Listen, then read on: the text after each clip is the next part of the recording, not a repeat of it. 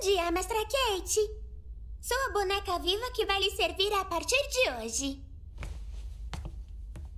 Qual é o seu nome? O quê? Eu acho que você precisa de um nome. Sim, senhora. Kate, Cat, Cat. Ah. Acho que não. Ah. Depois eu vejo.